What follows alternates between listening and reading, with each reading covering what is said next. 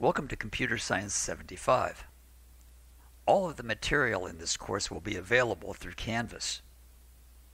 You can get to it from the evc.edu website by clicking Canvas in the Quick Links, then clicking the link next to Go to the Canvas site.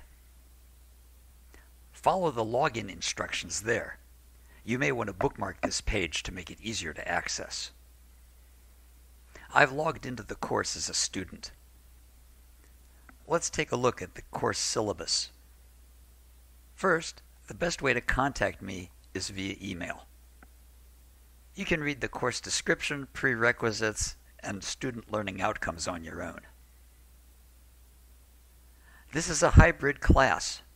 That means that the lecture will be on campus and the lab portion, programming exercises that you'll do on your own computers, will be online.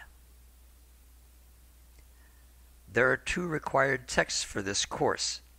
Think Java, How to Think Like a Computer Scientist, second edition, and an additional book that has exercises and other material to go along with the main book. Both of them are available for free online, and the main book can be bought in a print version if you desire to do so. Most of the lab work will involve programming projects that range from light to moderate complexity. They'll be graded on functionality. Does the program work? After all, if a program doesn't work, nothing else matters. There are different degrees of not working, ranging from minor errors to catastrophic failure, and grading will range accordingly. Organization. Does it look as if the program were planned in advance or just thrown together? Readability. Does the program follow the Java programming style guide which gives rules for naming, indenting, and other aspects that help make programs clearer, and appropriate use of programming constructs. If the assignment is about, say, loops, and don't worry if you don't know what those are yet, and you do the assignment without using any loops at all, then you haven't used the appropriate constructs, even though your program may work fine. There are two midterms and one final exam for this course. Here's the grading scale.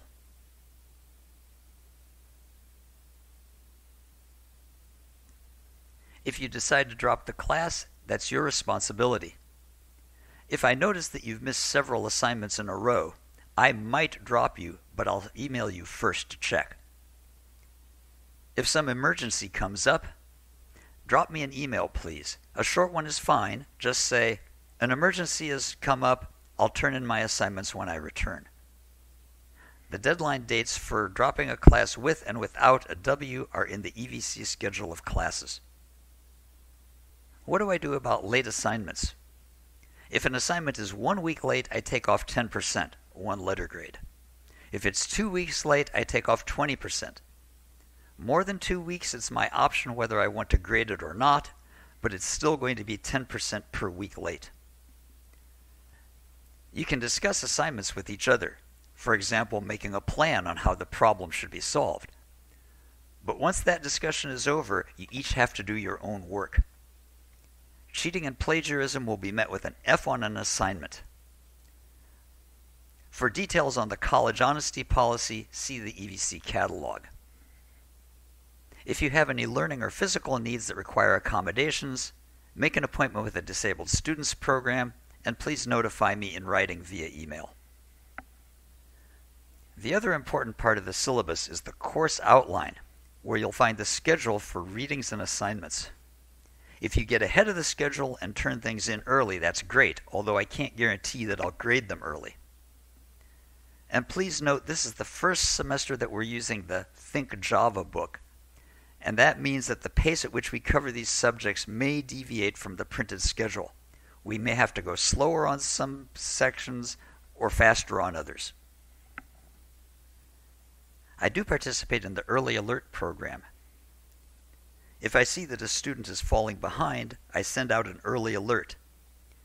Their team gets in contact with students and works with them to provide support services to get them back on track. Back at the home page, there's a link to YouTube that has video lectures. These provide additional information about the Java language and the material that you're working on. Please read Module 0, which gives you a general overview of the course. You're viewing the orientation video right now, and I strongly suggest that you do the preliminary exercise. You don't even need a computer to do it, but it gives you some introduction to the idea of what programming is all about. In order to write Java programs, you'll need to install the Java Development Kit and some sort of development environment. Here are instructions for how to install Java and Geany, which is a lightweight but still very powerful development environment on both Windows and Macintosh. I was talking earlier about the Java programming style guidelines, and here's the link where you'll find those. Finally, the most important part of the orientation, how to succeed in this course. Read the book if you try to do the assignments without reading the material or viewing the videos, you're setting yourself up for a difficult time. Type the example programs. If all you do is look at the code, nod your head, and say, Yeah, I got this, then in all probability, no, you don't got this. Instead, as you type each line, ask yourself what the line does and why it's in the program. This makes a connection between the code and its purpose. If you're adventuresome, try modifying the programs. Make them do something different or something extra. And finally, and perhaps most important, plan your programs before you write them. Either write a flowchart or pseudocode, which is part English, part Java. But no matter which method you use, plan. Programs written at the keyboard look like it. And that's not a compliment. A few minutes spent in planning can save you hours of frustration when you're writing your programs. If you do get stuck, ask for assistance. Email me or ask for suggestions in a discussion forum. Now, let's get started.